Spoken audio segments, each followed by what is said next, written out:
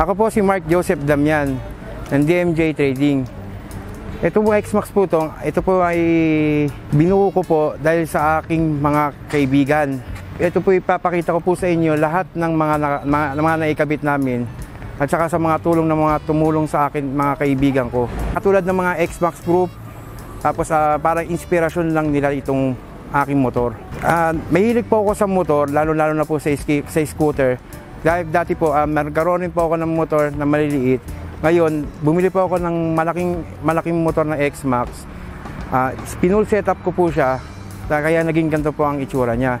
Meron din po ako mga motor na katulad ng T-Max, tapos sa N-Max, yun lang na ano ang motor. Panoorin niyo po ang lahat ng nakadetalye sa aking motor.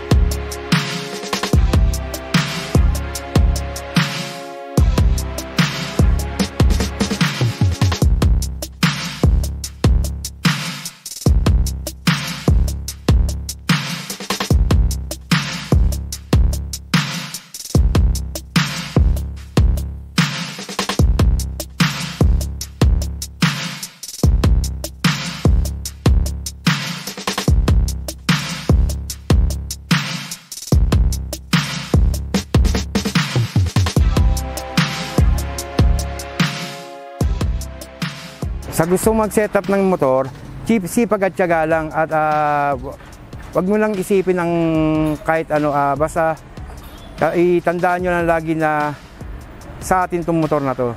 Darating din ang panahon na makakamit nyo rin ang, ang gusto nyo setup sa motor nyo. Ako nga pala si Mark Joseph Damian ng DMJ Trading o kaya ng Tracking para sa All About Wheels Manila.